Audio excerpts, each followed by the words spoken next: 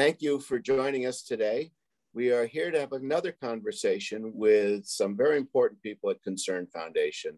And today we're here with Dana Schwartz, who is one of the original founders with her husband, Bill Schwartz, and our current board chair, Lorene Goldman, and her husband, Bob Goldman, who is a former board chair. So welcome everybody to this conversation.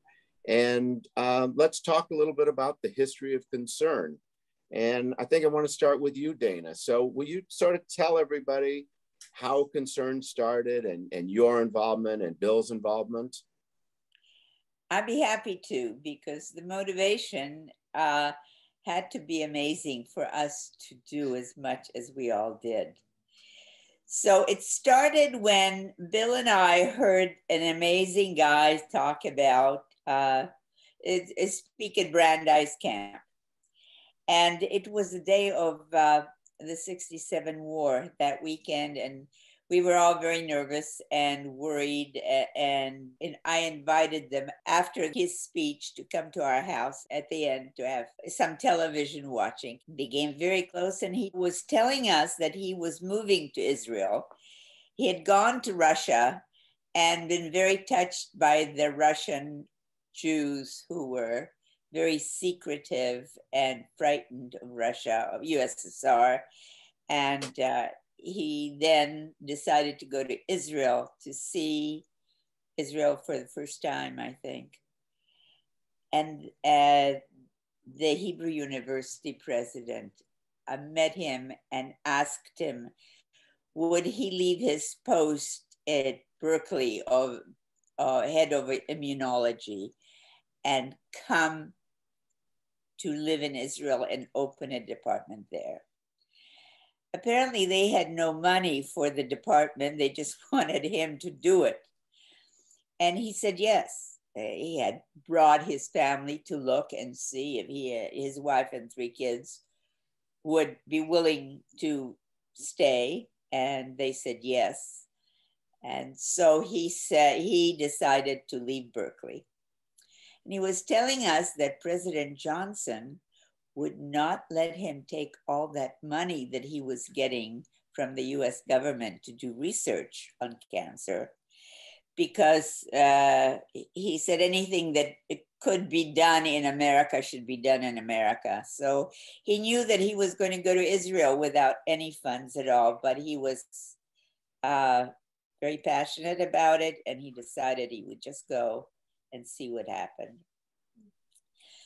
We were uh, at the time bill had a patient who uh, was in her 20s and he found can- breast cancer in her. She was from a family who all the women were dying very very early. Her her name was beverly. Beverly had uh, an operation and her girlfriends sent an indecent amount of flowers. You know, they were down the hall. It was it was awful. They all said we should have used this money for cancer research instead. So Bill said, "Oh, I know a scientist who's going to Israel. He has no money. He we we could support him. I know he. I imagine that would be a good thing." So, uh, so the ladies, about 13 of them uh, got together and decided to uh, have him speak, see if they liked him, if they wanted to. And they did. Uh, the, there was a meeting. They brought some, some of them brought their husbands, but it was really uh, the women's endeavor. And he spoke, and everybody was very touched. And they were speaking about and everybody had this fantasy. Uh, we barely spoke about it immunology of cancer. Wouldn't it be great if someday we could have shots for that kind of thing? Uh, it was a, you know, it was a dream and, and sort of made the dream come true. But uh, so we decided, yes, we would support him and we would make parties or or raise money from friends or whatever and David used to come very often, first from Berkeley, then when he moved uh, from Israel several times. I was uh, I was the hostess. Our house was where he always stayed. We took him around. Bill was very good at taking him to people who would want to listen and be part of it. Most people he introduced him to were very helpful and very willing. So the first time we decided to raise money, we got a movie called Something in Alexandra. We charged $25. We made hardly any money. And we decided we needed to do something bigger. We had a party at at uh, a banker's place, a house, which was in Bel Air. It was very huge amount of space. We had a very elegant party there. Um, Frank Sinatra sang. The reason he said yes to the gentleman whose house it was was because he was a banker and he had supplied the money for uh, Frank Sinatra's son was taken, and he was supposed to give a certain amount of money to let the son go. Got up in the middle of the night, went to open the bank to get the money, and it was a success. The, the son came back unharmed. So Frank Sinatra sort of had, uh, you know, he had to had an obligation to say yes to the bank.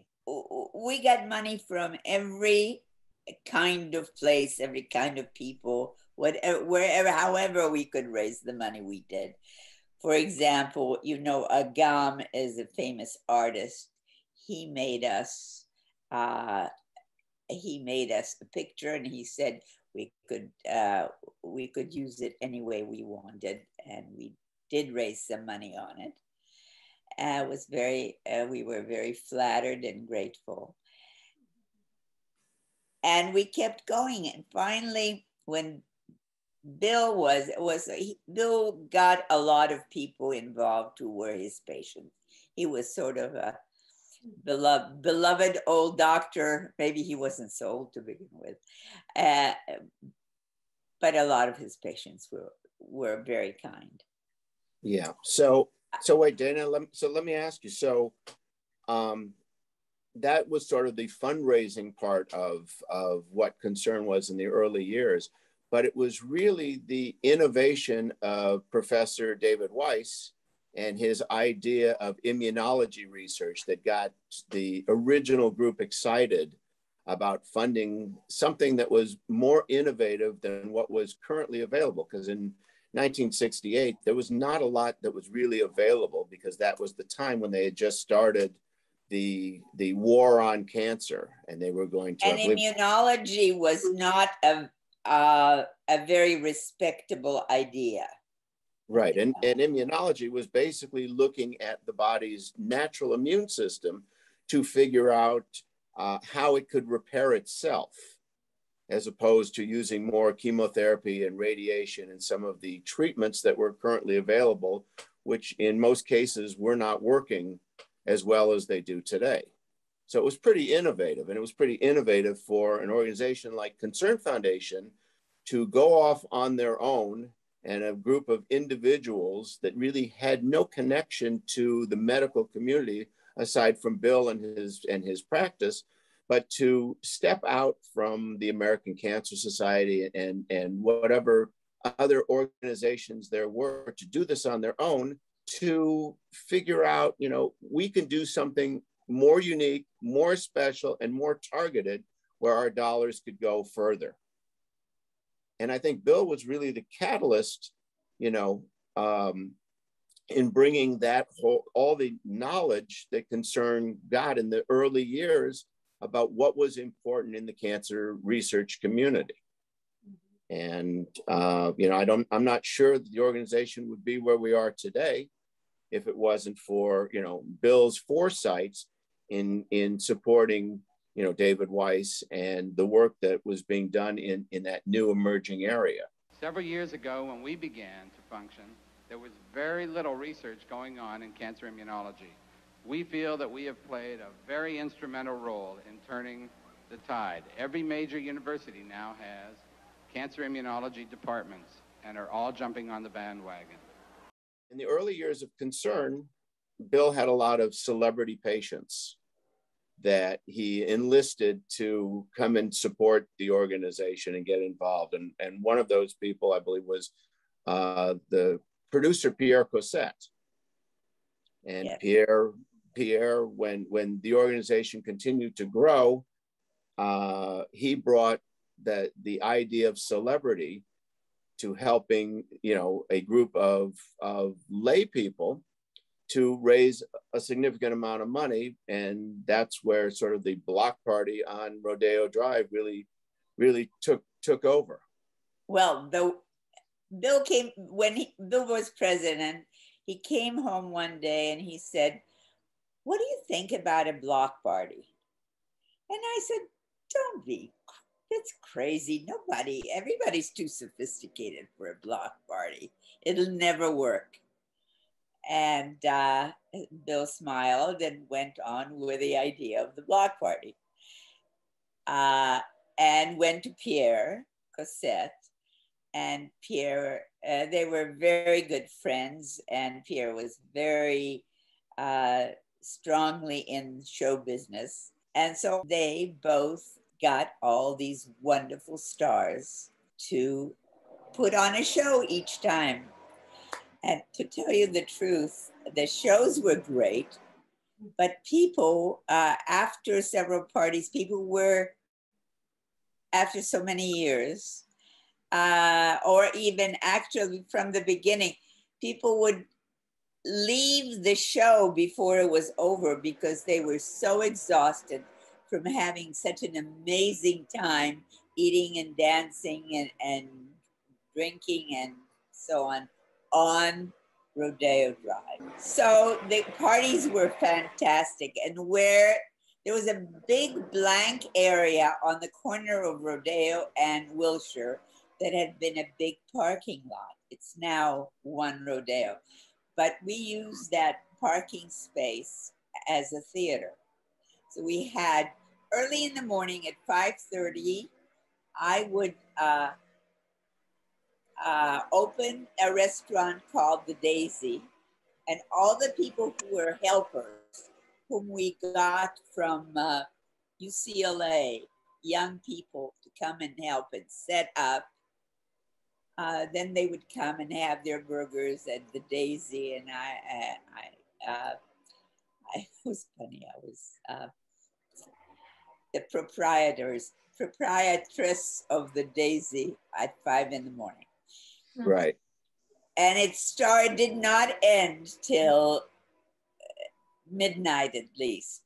And raised a lot of money every year. And, and, and that, that sort of introduced the idea of celebrity and local restaurants and caterers coming together. And it was really groundbreaking in the history of nonprofit fundraising in the city of Los Angeles. It wasn't a rubber chicken hotel dinner. But then as the Block Party continued to evolve, there were a couple named Bob and Lorene Goldman that were introduced to Concern Foundation. So Bob and Lorene, you guys want to talk about how you got involved and helped the Block Party elevate its game and raise more money? Young blood.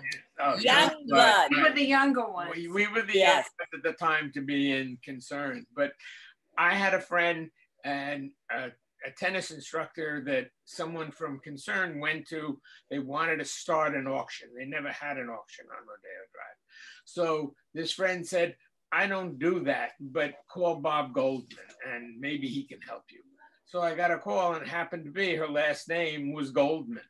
So she they came to the house and we lived in Beverly Hills and sat down and they told us we had no idea what concern was all about. And they told us what it was and what they're raising money for. And I said, I'll see what I can do to help out to see about the initial auction that they wanted. They wanted to get cars. They, they put all kinds of finders out, but they didn't get any response. So I mm-hmm. went to a friend who was close to people with the Raiders, the football organization.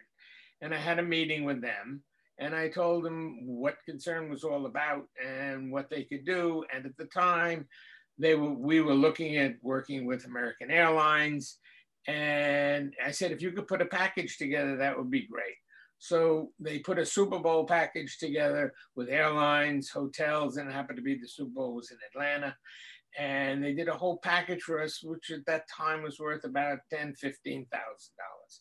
So I came back to send to the Goldman, and I told her what we were, you know, getting involved with, and they said that's great. And that was really the start, and that we were involved in 1983.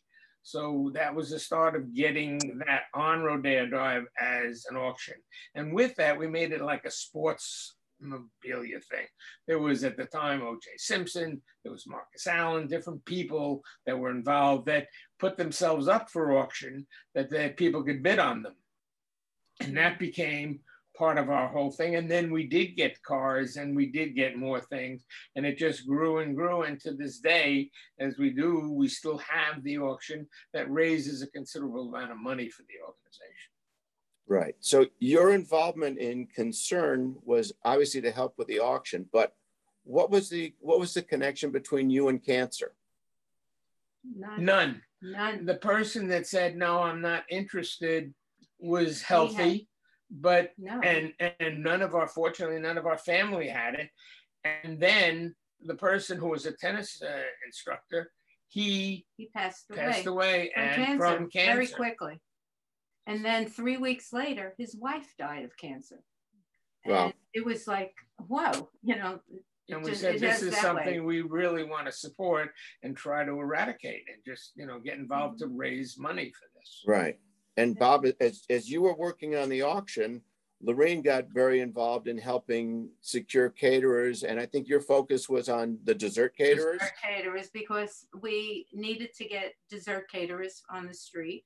And Bob said, You should do that because you like desserts. I said, Oh, yeah, I can go tasting around town. Um, but, you know, I never did but we did get caterers, you know, and you know there was a committee that went out, and we we got the caterers, and um, we got them to be on the street. And then we got to change that from where it was big people caterers that did home uh, catering at home and all and then we got we were friendly with someone who at the time owned the grill restaurant and we talked to them because their restaurant was right around the corner from rodeo drive to do an event, the event with more restaurants involved than just caterers. And that's when the Speedbacks got involved with us right. to, to change the, that outlook of the of the block party. And right. In the mornings of the block party, we were there, you know, as everyone else who worked on it, um, you know, getting these caterers set up and help them get set up and, you know, lugging carts and paper goods to them and everything. And, you know, we helped the party get set up from the you know beginning and it was mind-boggling we couldn't believe how beautiful the street looked you know it was something like we were awed by it yeah. Well as, as dana said you know they they enlisted a lot of support around the community the rotc from ucla and i know i was one of the people that was out there at 5.30 in the morning with some of my friends rick powell and nancy nancy powell and Steve Teller and some of the folks that are still involved putting down the fire lane, the 12 foot fire lane before the rental companies could actually come out and, and even put down any tables and chairs.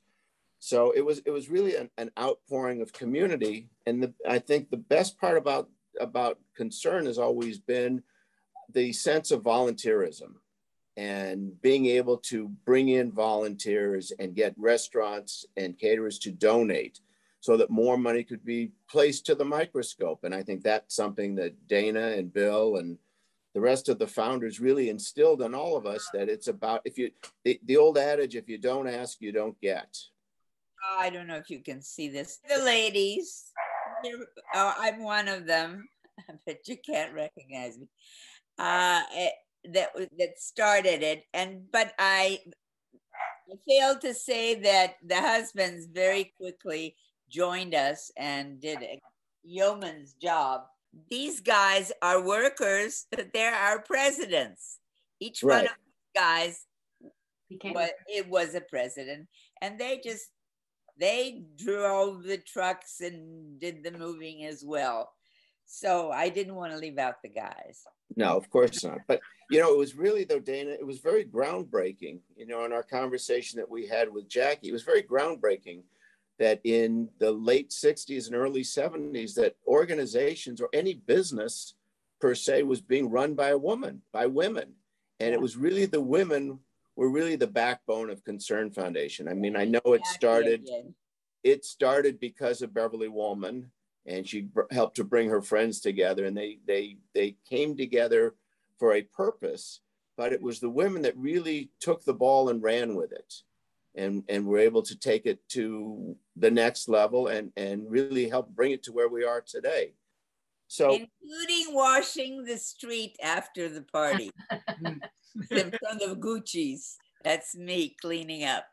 We did everything.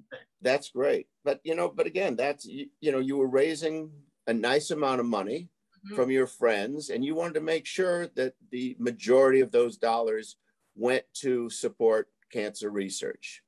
So, and I know that, you know, Bill's idea of bringing in celebrity to help augment the raising of dollars. And Bob, you were also very involved in bringing in some people that you knew in the Hollywood to help us raise money as well. Yeah, well, that, that's it. And, and their involvement was the point of they would bring their friends in, or we honored some that were producers, directors. And I had a dear, dear friend who unfortunately, again, recently died of cancer. And he was vice president of ICM, and he brought talent and also money. So when we did events or the block party and we honored some of the uh, people in the industry, these people stepped up to the plate and donated a lot of money to Concern. So yeah. Jack Gilardi was a, a, big part of and we honored him in the year 2000. So you started with David Weiss, who moved to Israel and opened up the Lautenberg Center. And then there was a lot of exchanges and interaction with other cancer researchers around the world, one of which, and his laboratory that Dana, I know you became very close with, and that was George Klein. He was not only uh, the head of immunology in Stockholm eh, at uh, the Karolinska Institute, was on the committee for the Nobel Prize. If he hadn't been on the committee, he would have gotten one himself. But he was extremely bright and he would also come. He wouldn't stay with us. He uh, he needed he was very, very old, but he uh, swam. He had to swim every day. So we had to put him up in a hotel so he could not Mrs. swim. And also, you know, it, it was in a way a feather in our cap that those people were involved with us as well. Right. So we we helped fund uh, George and his laboratory at the Karolinska Institute and and supported exchanges between uh, the United States and Israel and Sweden and sent researchers back and forth to work in the different laboratories to to gain more knowledge so we could continue to advance the research. And you know, George's lab, if anyone would look at our website and look at our where we've given our monies for the last 53 years, when you look at, at the laboratory at the Karolinska Institute, it looked like the United Nations. Yes. Um, we had research, yeah. he had researchers working in there from all different countries around the world. I mean, there's Hungary, Sweden, Germany, Australia. I mean, it was it was really quite a a a a, a, um, a learning ground for young investigators to get their start in the research community, which is really one of the the the feathers in the concern cap is to be able to fund young investigators to get their start in the research community to work under experienced researchers like David Weiss and George Klein to then go on and establish their own laboratories and things of that nature. And I know, Bob, you and Lorene several years ago had an opportunity to go to Israel yes. to the Lautenberg Center that David that David had started and to meet some of the researchers. So can you tell us about that experience? It was wonderful um, because we got to see the laboratories, which were not very large then. Um, No, There were there were instruments in the hall. It just they were overflowing, and with and with they needed space. They just never had enough space there. And we saw this, and we kept saying, "Why aren't they moving, or do, why don't they get more space uh, to do more research?" And you know, and concern was raising money to help these researchers. And now we have a research center there. That's the Concern Foundation Center for Cancer Research at the Lautenberg, Lautenberg Center. at, at at- Hebrew University. University. But it, Right. It took a lot of effort. It took a lot of discussions between Derek and the people at uh, Hebrew University and our people in the United States to get this together to fund this and get this off the ground, which is much needed and much Right. appreciated. And the people who work there now, who who do research there, are mostly from places like Harvard. Uh, even the head of it right now is also from Harvard. They've got the very top people, and they're extremely respected in the scientific community.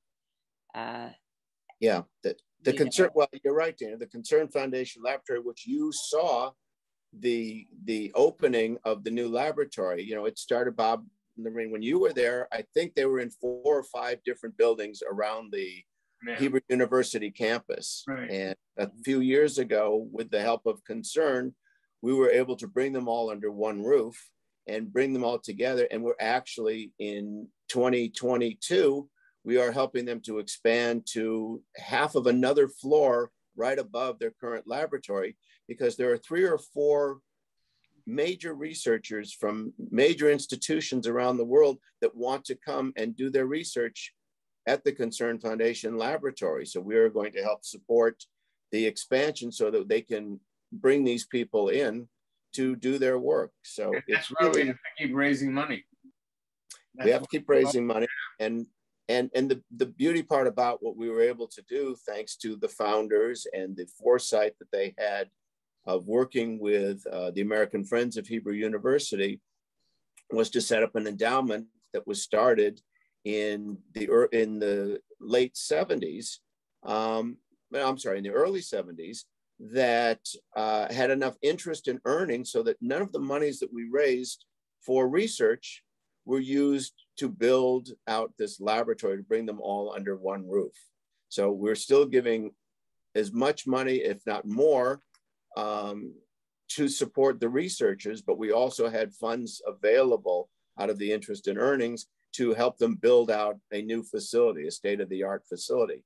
And a lot of that, Dana, goes back to the relationship uh, that Bill had with a, a wonderful gentleman named Bob Ahmanson. Yeah, that's good. that's good. Yeah, that's Bob next to Bill and the Bellens. The uh, Bellin was the lawyer for the Ahmanson Foundation, and so he had a lot of say in and where it was given. But Bob was absolutely amazing. Uh, uh, had a, a lot, gave us a lot of help Mhm. and a lot of courage.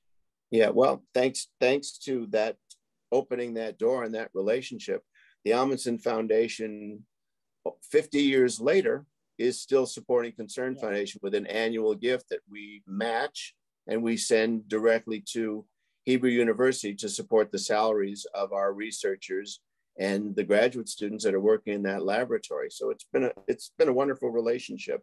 You know, But- begin with Bob and and Bill had uh, a pact that as long as one of them lived, the Ahmanson Foundation would give the money. Now they're all gone, but his son is a good guy and he respects that uh, that decision and continues on. Yes, that Right. legacy that legacy will continue in in both in both Bill and Bob's name. and uh, it's it's really you know it's it's a wonderful thing that when the when community can get together and understand what the cause and what the purpose is and to still be with us you know 50 years later it's quite remarkable You know, it's, it's it's really a testament to the the the foundation that was started in 1968 and to the different generations. We're on the fourth and sometimes the fifth generation of Concern Foundation that we continue to grow and thrive. But it all goes back to our roots. It goes back to Bill and Dana Schwartz and the Gottliebs and the Powell family and you know some of the families that have been with us for all this time and then the generation of um, you know Bob and Lorene Goldman coming in in the middle and then there was the next generation of the Concern 2 group and um, it's it's you know it's really something you know Concern Foundation is very unique you guys were unique in 1968. We're unique in 2001, you know, and we've continued um, to respect the organization that you founded. So, um, but Derek, you know, a lot of the families are sort of cancer families. They know that their future children may be involved in cancer and they want to prevent it. So there is that motivation, that passion that sometimes. Well, Dana, you know that what's what's interesting is something that I learned a few weeks ago, and I never really thought about, is cancer is the only disease that every single person in the world will be touched by sometime in their life. Mm-hmm. The only one, not Alzheimer's, not heart disease, not MS, cancer will touch everybody in the world's life at some point, whether it's you, a family member, or a friend. Mm-hmm. So we all have an obligation to continue to support research, to um, make sure that that when somebody gets that diagnosis of cancer, that it is not a death sentence, that it can be uh, managed, it is curable, it's treatable, and you know that people will live normal healthy lives with cancer. And that's really what the goal is. The, the, the word curing cancer or eradicating cancer it's really not very realistic because cancer will always be there. And um, it's um, it's something that we're all going to do we, we want to be out of business you know the, the the original founders said in a few years we were going to be out of business and i think when we spoke to Jackie, you know, she was a little disappointed that by now we weren't out of business. But the breakthroughs that have come out of the support that we have given and other organizations like Concern is, you know, people that are diagnosed with cancer are surviving their disease. And that's that's that's a major that's a major accomplishment for, for this organization. So let me ask, um, and I'll start with Bob and Lorene what are if if you could pick one or two highlights of your involvement with concern since the 80s what would that be? Well i think it's the raising of the money. I think it's also we do an event for children with cancer that we do once a year and 500 families come to Paramount Studios and have an event. And we and and the blessing we see sometimes is that they're coming every year, the same kids that were there, and they're still alive. So research has really gone from even like a children's hospital from an 8% survival rate to like 89, 90%. So seeing that makes us feel good that mm-hmm. you know we're, we're making inroads and we're our money is going where we want it to go. Right. Lorene? And being involved with the children is so much fun and the joy that concern gives them at these parties is fabulous. And also when we went to israel it was just mind-boggling to be in uh, someone's lab to see how they are in this small room just working on trying to find, you know, a cure. I mean, it's it's amazing that this is how they can direct their their knowledge, you know, in this one little room. So it, that was very, you know, wonderful to see. Right, Dana. What what do you think some of the highlights are for you? Yeah, tell you something. uh, a funny highlight was when I was sitting in my kitchen uh, on the phone and calling people and asking them if, if they possibly would give us the use of their uh, private plane because uh, Liza Minnelli was making uh, a movie in Mexico, and could we please have uh, your pilot go and get her for the weekend and fly her back? I mean, I love the fact that we were we did such crazy things and they worked. You know, of course, I I think it's it's concern has been my fourth child. Bill and I always agreed on that. We spent as much time on concern as we did on our kids. It was our passion and it was our pride and uh, and our hope, and it worked. Yeah, it works. Well, I hope I hope that we grew up the way you expected us to grow up. You're a good boy. Oh, thank, thank, thank, you, Mom. I appreciate that. So, um, let me ask you. I, I, have, I have one question that I try, and ask in, when we do these conversations. So, if you could complete the sentence, how would you complete the sentence? And I'll start with you, Dana. Concern Foundation is hope for the world. I think concern you know they say you you can't change the world ha i think the truth is that we all change the world in some small way and look what's happening now with with the crazy idea we had of shots for immunology and uh, you know it it's a little snobby, snooty, I guess, to say we've changed the world. But just between us, we did a great job. And it's still going on. And I hope it continues. I just hope people feel the responsibility of making the world a better place. yeah. Beautifully, Dan. Yep. Wow. So, Bob, Lorene, so you finish the sentence. Concern Foundation is. You want to go? Uh, go ahead. yeah. I just think it's a, a wonderful organization that um, has been so important in trying to eradicate a terrible disease. And although we're not eradicating it, we're um, some, most most cancers people are being able to live with it, and it's not as scary um, we still have a lot of work to do. And that's why I want to do it. And I want to be involved. Yeah, and I think too the fact that back when in the days with Dana and the beginnings, they were very smart in taking on the challenge of immunology opposed to taking it another step. And this was a very important decision that was made that said, you know, there isn't enough done in the immunological end of it. Mm-hmm. So let's really put our strength and money behind it to find out what we can do through immunology. And we've maintained that since we in inception. And I think that that's what's going to really, again, I don't know if we'll ever eradicate it totally, but we'll control it and, and find different answers through immunology. And I think that's the important thing. yeah, absolutely. Well, very well said.